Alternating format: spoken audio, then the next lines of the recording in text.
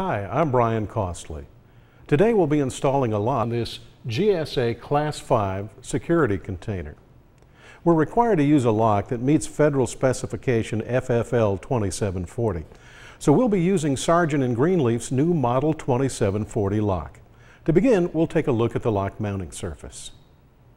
Note that on this mounting plate, the mounting screw locations are actually raised studs. We're going to measure the door thickness and to give us a, a, good location for our measuring tool, which will be a pair of dial calipers, we'll take the 2740 lock body and place the cover side down against the mounting studs and from the other side we'll insert the depth gauge portion of our dial calipers.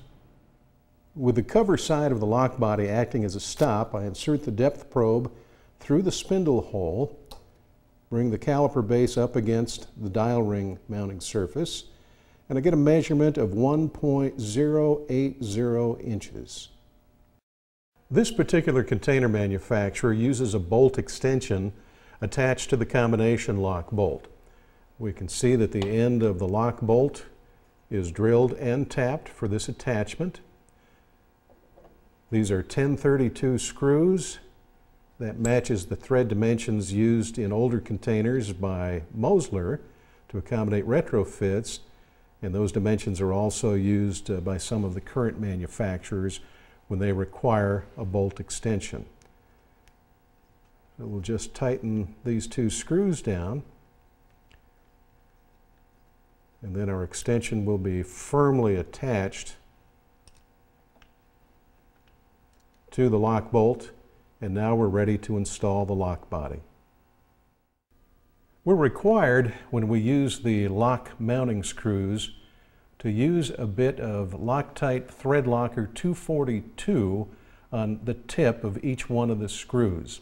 Alternatively, I like to take the thread locker, place a drop on the end of a small flat blade screwdriver or probe, and then place the drop inside the mounting stud.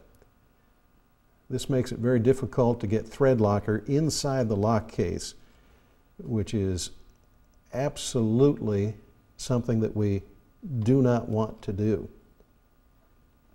Once I have thread locker in all of the mounting stud locations, I'll waste no time installing the lock body and its mounting screws.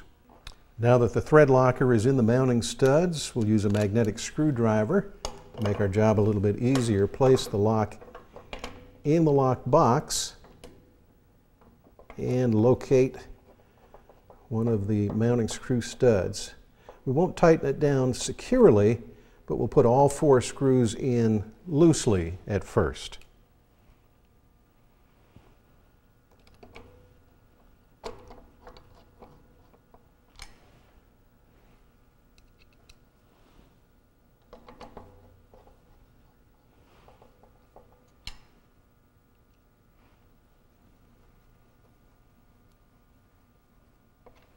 Once we have all four screws installed loosely, we'll go back, we'll tighten using the diagonal tightening method to make sure we get even pressure on the lock body.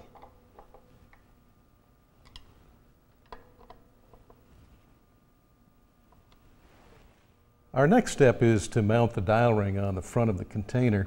I'm going to show you two ways to do this, and I'm also going to show you two variations uh, processes to get the spindle to the correct length on the dial. And the two processes overlap. So you'll have to pay close attention to what we're doing here. First, I install the dial ring mounting screws, but loosely. There's still movement that's possible in this dial ring, and that's the way I want it right now. Next step is to thread the dial spindle into the drive cam.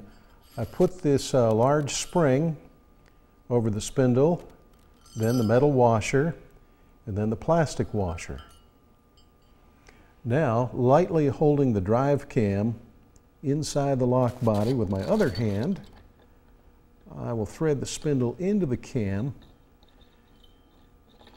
and I'll thread it down until the top surface of the dial in this area is more or less flush with the top surface of the dial ring.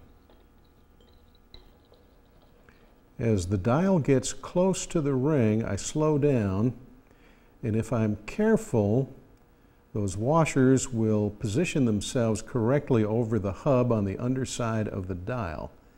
If I move fast, I may trap one or more of those washers and I may distort them or I may damage something. So if I just move slowly and when I meet resistance, I simply back up and then move forward again. I exert almost no pressure if I meet resistance. And now I can tell that those washers have positioned themselves correctly and I can finish inserting the dial into the dial ring. And that's just about where I want it. We're almost flush with this surface of the dial to the top surface of the dial ring. Now that I have the dial in the ring just about where I want it, you notice I'm holding the cam so it doesn't move back out against this lever mechanism and everything stays in place in the lock case throughout this installation. Nothing comes out. You remove components at your own risk. Now I can mark the spindle where it first comes through the drive cam and that's the spot where I'm going to cut the spindle to length. When I'm finished, and the dial is installed in the ring, the drive cam should not project beyond the back surface of the drive cam.